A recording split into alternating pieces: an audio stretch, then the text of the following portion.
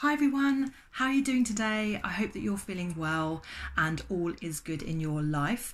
I am currently having to do this post very, very quickly in the little nun's room because there is a builder next door doing some building work in the room next to the little nun's room and it's quite loud. So I think the builder is currently on a tea break. It seems the pattern has been an hour of banging and knocking and whatever else, and then quarter of an hour tea break and then carry on. It seems that seems uh, to be the pattern. So I thought I would take this opportunity to do a quick, very, very quick post. So I have made for my coffee break, tea break today, a Dalgona coffee. So I've been watching this online recently. I made it purely because it looks really pretty and I like the idea of the milk at the bottom and the coffee at the top. So you're like upturning the idea of a cappuccino. Not too keen because it's instant coffee. Don't really like instant coffee, but I thought I'd give it a go. So what you have to do is you get sugar, equal quantities of sugar, instant coffee and very very hot water together. So watch out because you have to then whisk and whisk and whisk. So be careful of that. It did actually splutter a bit but more on my top than anything else. Keep whisking keep whisking keep whisking.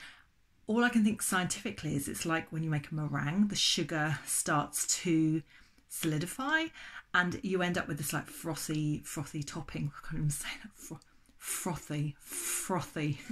Come on practice with me. Frothy. Frothy topping. Say that after a few dalgona coffees especially if you haven't had caffeine for a while.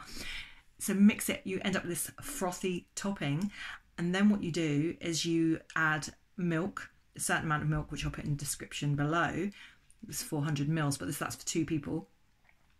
Uh, and then you add the the topping on top, and it's looking like it's not actually sinking. It's a little bit like a non-alcoholic non-alcoholic cocktail, maybe like a an espresso martini, but without any of the martini or the espresso come to think of that but you i think you get what i mean it looks very beautiful and that's why i've been drawn to it and i thought i'd give it a go i think this is going to be really good on a hot day because it's cold. It's not particularly hot right now, but I'm going to give it a go. And I um, hope it's tasty. I hope it's really good. But it was really about like, the mixing, the mixing of it, and just seeing what happens because I do like that kind of scientific experiment just to see. And it, it does fascinate me that the sugar actually makes it um, start to solidify.